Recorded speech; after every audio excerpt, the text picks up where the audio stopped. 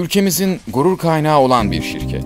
Kendi sınıfında dünyanın en hızlı hücum botlarını üreten Yonca Onuk Tersanesi, Türk Sahil Güvenlik Komutanlığı ve Türk Deniz Kuvvetleri'ne de bu tasarım ve teknoloji harikası hücum botlarını inşa ediyor.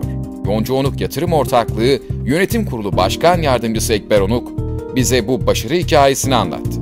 Yonca Onuk Ortaklığı 10 metreden 50 metreye kadar yüksek hızlı hücum bot tasarım ve üretimini yapmakta.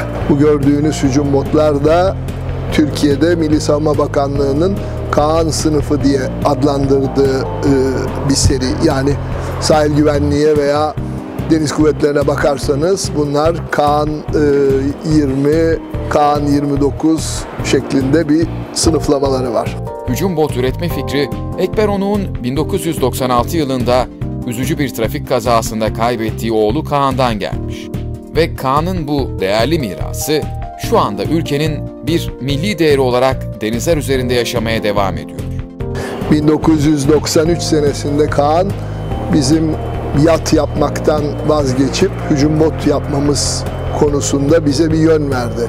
Bu Kaan'ın başlattığı e, bir proje. E, dediğim gibi o bu işi çok seviyordu. Tasarımını, silah yerleştirmesini ve bir takım ayrıntılarını kendisi yaptı. 1996 senesindeki kazadan sonra zaten o gün yapmış olduğu her şey hazırdı. Biz de e, sahil güvenliği ilk botlarımızı Kaan'dan sonra 98'de teslim etmeye başladık. Kaan tipi hücum botları yalnızca Türkiye'de değil, dünya üzerinde tam 8 ülkede kullanılıyor. Malezya, Pakistan, Gürcistan, Türkiye, Mısır, Katar, Birleşik Arap Emirlikleri, Kıbrıs. Şu anda dünyanın 8 ülkesinde 137 tane hücum botumuz görevde. Yani Türkiye'de bizden başka hiçbir sanayi kuruluşu dünyada kendi alanında teknoloji lideri olduğunu söyleyemez. Ne Amerika'da, ne Avrupa'da, ne dünyanın başka bir yerinde bizim standart ve teknolojimize sahip herhangi bir tekne üreticisi yok.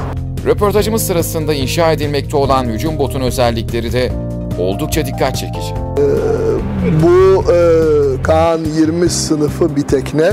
Katar Deniz Kuvvetleri için yapılan ikinci e, MRTP 20. Bugüne kadar MRTP 20'lerin üstünde kullanılan en güçlü motorlar var. Yani iki tane 1940 beygir var ve 62 natın üzerinde bir sürat yapacak. Hızdan ziyade o hızı yaparken de iyi bir denizciliği olması lazım. Yani insanların rodeodaki bir boğaya binmiş gibi olmamaları lazım. O insanların o hızla giderken görev yapabilecek konfora sahip olması lazım. Dolayısıyla biz bu tekneleri daha hızlı götürebiliriz ama içindeki ekibin görev yapabilecek standartta kalması son derece önemli. Ve biz bunu sağlayabildiğimiz için bir ölçüde teknoloji lideriyiz. Bizim aşağı yukarı 200 kişilik bir ekibimiz var. Ee, yaklaşık da 30'a yakın mühendisimiz var. Böyle bir tekne başladığı noktadan teslimine kadar 6 ay sürüyor ve her 2 ayda bir yeni bir tekne üretim hattından çıkıyor. Ee, dediğim gibi bu bizim işimiz emek yoğun bir sistem. Kendi geliştirdiğimiz kompozit üretim teknolojilerini kullanıyoruz ve e, Norveç e, Lloyd'u DNV GL'nin kurallarına göre yapılmakta.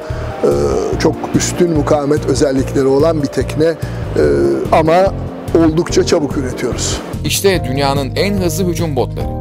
Dileğimiz Yonca Onuk Yatırım Ortaklığı'nın bu örnek başarısını sürdürmesi ve ülkemizin gurur kaynağı olmaya devam etmesi.